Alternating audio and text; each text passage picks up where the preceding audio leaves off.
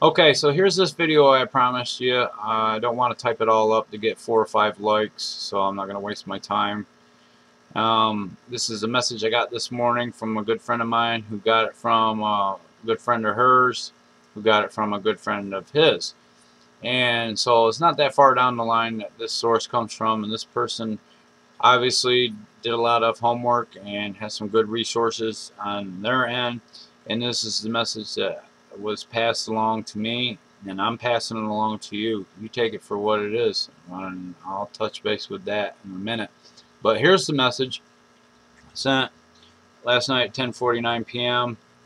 This is from uh, one of my immigration sources and this was also posted in another group on uh, Trump's page there and so there's more than one story coming in here from different angles.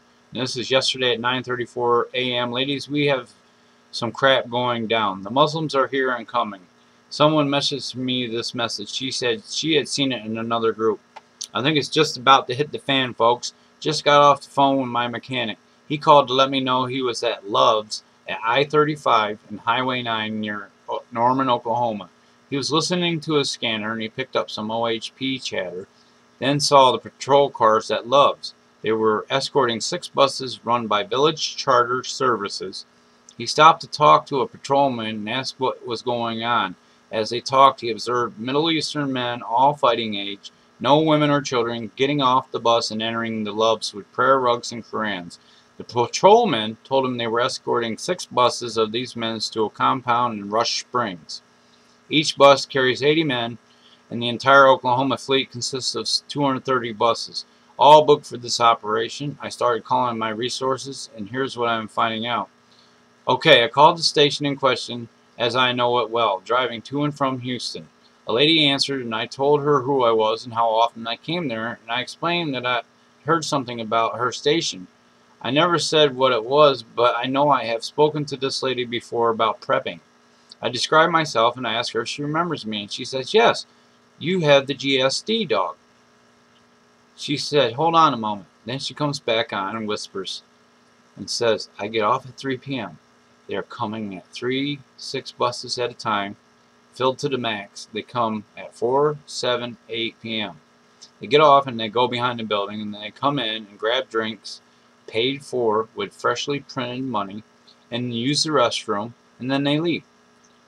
Then she said, hold on again, came back in just a second with a different tone and said really fast, I can't verify that buses filled with foreigners are stopping here. It hasn't been on my shift. And then hung up on me.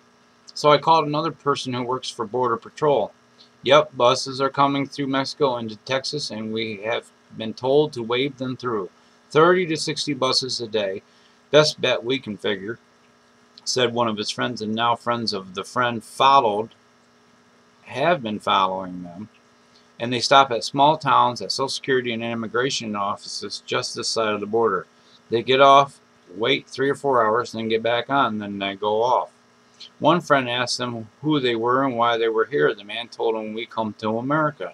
Incidentally, the bus company located in Tulsa, Salina, Wichita, and Oklahoma City won't comment. But the one did tell me they had fleets of 70 buses at each location. I asked if I could rent one or two, and he said he was not renting anymore for the month of October because they are all booked up. Two people now in military high ranking have no clue and haven't heard about it. Called one on the west coast and he said, do you bike, are you going bike riding this weekend? Our code for high security alert or I can't talk about it right now or at all maybe. But I will see if he calls back later. He is known to. If so, we'll let you know. Rush Springs, Oklahoma is one location they were spotted or, or holed up at for the night. Now I want to look at these numbers now according to this woman's information I wrote down. Alright, so that's 80 Muslims, Middle Eastern men, all fighting age, no women and children from Middle Eastern countries that will fit on a bus. And there were six buses. That's 480 Muslims. Alright? So 230 buses times 80 Muslims, that's 18,400 Muslims. Alright? They said three to six buses.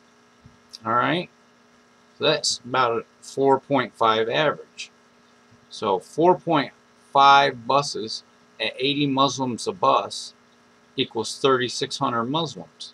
Remember that number. I'm going to show you how you, this uh, story pans out because of that number. Because her math is right, no matter how you look at it.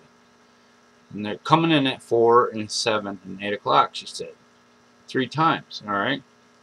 Well, three times 3,600 is 10,800 Muslims. Alright? Remember, she said they're coming at 4, 7, and 8. And that there were, Border Patrol said there was 30 to 60 buses a day. Alright, so that's an average of 45 buses a day. So we'll do the average. 45 buses a day times 80 Muslims equals 3,600. Alright, now you got 31 days in the month of October. You times that by the average of buses, that's 45 buses. So 31 times 45, are you ready for this?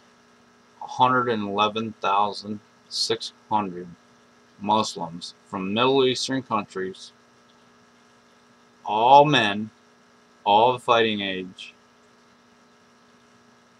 People, this ain't immigration. This is not saving refugees. This isn't an invasion. On top of the already 50,000 Central Americans that somehow miraculously treaded across the most dangerous part of the Western Hemisphere and crossed our borders last year. It's call what it is, people. This is an invasion. Get this out there and uh, be on the lookout because this is not going to end well.